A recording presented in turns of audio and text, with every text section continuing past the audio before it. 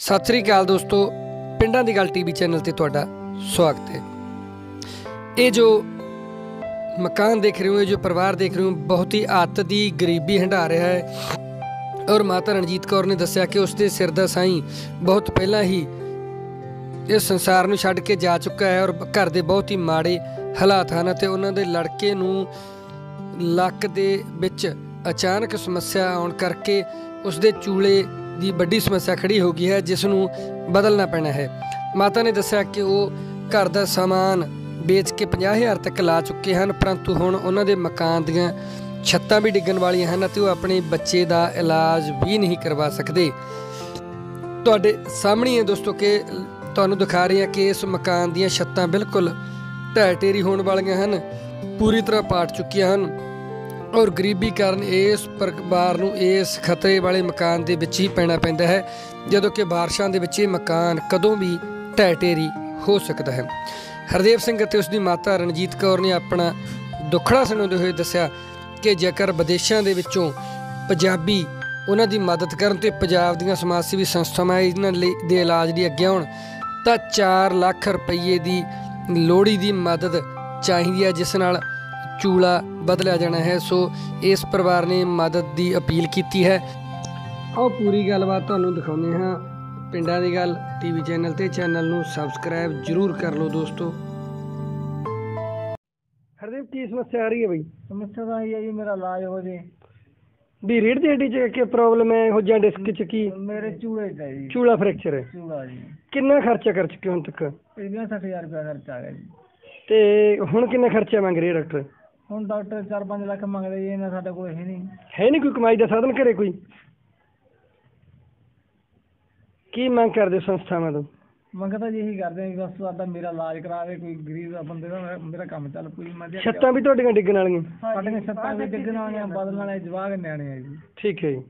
ਜਦੋਂ ਹੁਣ ਆਪ ਤੋਂ ਨਹੀਂ ਖੜਾ ਹੋਈਦਾ ਜਵਾਕ ਕੀ ਕਰਨਗੇ ਜੀ? ਬਿਲਕੁਲ। ਪਿੰਡਾਂ ਦੀ ਗੱਲ ਟੀਵੀ ਚੈਨਲ ਤੇ ਤੁਹਾਡਾ ਸਵਾਗਤ ਹੈ। ਜਿਵੇਂ ਕਿ ਅਸੀਂ ਹਰ ਵਾਰੀ ਕੋਸ਼ਿਸ਼ ਕੀਤੀ ਹੈ ਕਿ ਜਿਹੜੇ ਲੋੜਵੰਦ ਪਰਿਵਾਰ ਹੈ ਜਾਂ ਕਿਸੇ ਪਰਿਵਾਰ 'ਚ ਸਮੱਸਿਆ ਆ ਗਈ ਕੋਈ ਬਿਮਾਰੀ ਹੈਗੀ ਜਾਂ ਕਈ ਵਾਰ ਛੱਤਾਂ ਡਿੱਗਣ ਵਾਲੀਆਂ ਹੁੰਦੀਆਂ ਇਸ ਤਰ੍ਹਾਂ ਦੀਆਂ ਬੜੀਆਂ ਖਬਰਾਂ ਲਾਈਆਂ ਤੇ ਵਿਦੇਸ਼ਾਂ ਵਿੱਚੋਂ ਜਾਂ ਪੰਜਾਬ ਦੇ ਵੀ ਜਿਹੜੇ ਸਮਾਜ ਸੇਵੀ ਸੰਸਥਾਵਾਂ ਉਹਨਾਂ ਨੇ ਬੜਾ ਸਹਿਯੋਗ ਦਿੱਤਾ। ਸੋ ਸਾਰੀਆਂ ਸੰਸਥਾਵਾਂ ਦਾ ਧੰਨਵਾਦ ਕਰਦੇ ਹਾਂ ਜਿਹੜੇ ਵਿਦੇਸ਼ਾਂ 'ਚ ਪੰਜਾਬੀ ਬੈਠੇ ਉਹਨਾਂ ਦਾ ਵੀ ਅਸੀਂ ਧੰਨਵਾਦ ਕਰਦੇ ਹਾਂ।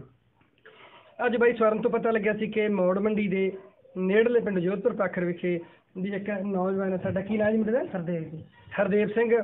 ਤੇ ਉਹਨਾਂ ਦੀ ਮਾਤਾ ਰਣਜੀਤ ਕੌਰ ਉਹਨਾਂ ਨੇ ਦੱਸਿਆ ਸੀ ਵੀ ਜਿਹੜਾ ਉਹਨਾਂ ਦਾ ਲੜਕਾ ਹੈਗਾ ਕਿੰਨੀ ਉਮਰ ਹੋਈ ਜੀ? 40 ਸਰ ਜੀ। 40 ਕੁ ਸਾਲ ਦੇ ਲਗਭਗ ਉਮਰ ਹੈ। ਕੁਦਰਤੀ ਕਾਰਨਾਂ ਕਰਕੇ ਉਹਦਾ ਜਿਹੜਾ ਚੂਲੇ ਦੇ ਵਿੱਚ ਕੋਈ ਪ੍ਰੋਬਲਮ ਆ ਗਈ ਜਿਹਨੂੰ ਬਦਲਣਾ ਪੈਣਾ ਤੇ ਬਹੁਤ ਵੱਡੀ ਰਕਮ ਦੀ ਲੋੜ ਹੈਗੀ। ਆਪਾਂ ਉਹਨਾਂ ਨਾਲ ਗੱਲਬਾਤ ਕਰਦੇ ਹਾਂ ਕਿ ਕੀ ਮਾਮਲਾ ਸਾਰਾ ਕਿੰਨੇ ਕੁ ਪੈਸੇ ਦੀ ਲੋੜ ਹੈ ਕਿੰਨਾ ਕੁ ਪੈਸਾ ਹੁਣ ਤੱਕ ਉਹ ਖਰਚ ਚੁੱਕੇ ਹੈ।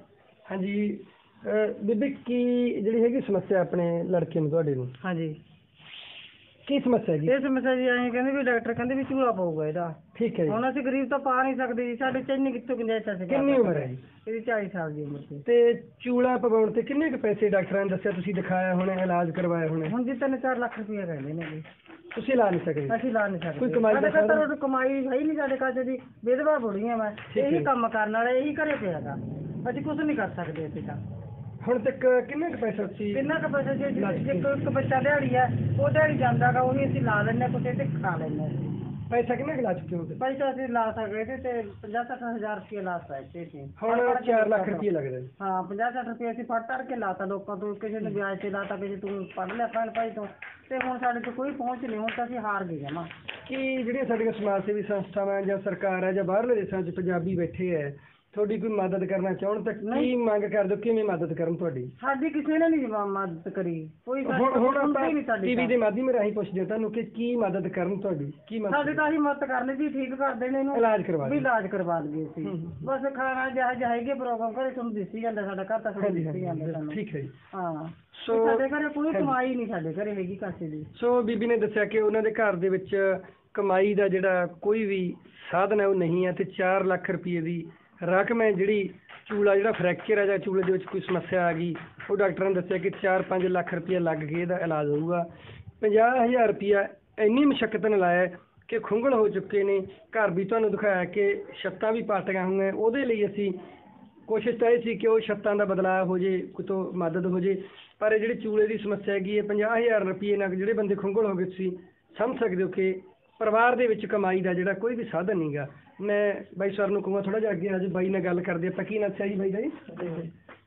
ਹਰਦੇਵ ਸਿੰਘ ਬਈ ਕਿਵੇਂ ਸਮੱਸਿਆ ਆਈ ਇਹ ਕੁਦਰਤੀ ਆ ਗਈ ਜਾਂ ਕੀ ਕਾਰਨ ਬਣੀ? ਇਹ ਕੁਦਰਤ ਦੀ ਆਈ ਹੈ ਜੀ। ਕਿੰਨਾ ਚਿਰ ਹੋ ਗਿਆ? ਇਹਨੂੰ 4 ਮਹੀਨੇ ਹੋ ਗਏ 4 ਮਹੀਨੇ ਹੋ ਗਏ। ਕਿੰਨੇ ਕੀ ਤਕਲੀਫ ਹੈ? ਤਕਲੀਫ ਬਹੁਤ ਜ਼ਿਆਦਾ ਹੈ ਜੀ। ਸੁਬਹ ਚੱਕ ਕੇ ਇੱਧਰ ਠੀਕ ਹੈ।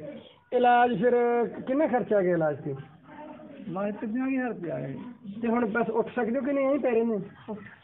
ਉੱਠਿਆ ਨਹੀਂ ਜਾਂਦਾ। ਕੀ ਮੰਗ ਕਰਦੇ ਸਾਡੇ ਵਿਦੇਸ਼ਾਂ 'ਚ ਪੰਜਾਬੀ ਬੈਠੇ ਨੇ? ਉਹ ਵੀ ਜਿਵੇਂ ਮਾੜੇ ਹਾਲਾਤ ਆ ਉਹਨਾਂ ਹਾਲਾਤਾਂ 'ਚ ਮਦਦ ਵੀ ਕਰ ਦਿੰਦੇ ਬੰਦੇ ਦੀ। ਮਦਦ ਆਈ ਹੈ ਜੀ ਮੈਨੂੰ ਮੰਗ ਚੋਖੜਾ ਕਰਦੇ ਨੇ ਬਸ।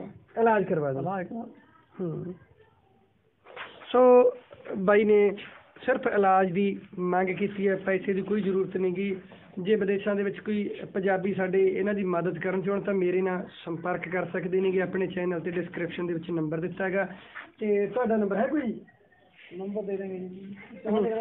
ਮੈਂ ਇਸ ਤਰ੍ਹਾਂ ਕਰਾਂਗਾ ਕਿ YouTube ਦੇ ਆਪਣੇ ਚੈਨਲ ਦੇ ਡਿਸਕ੍ਰਿਪਸ਼ਨ ਦੇ ਵਿੱਚ ਉੱਥੇ ਕੰਟੈਕਟ ਇਹਨਾਂ ਦਿਆਂਗਾ ਤੁਸੀਂ ਮਦਦ ਕਰ ਸਕਦੇ ਹੋ ਇਹਨਾਂ ਦੀ।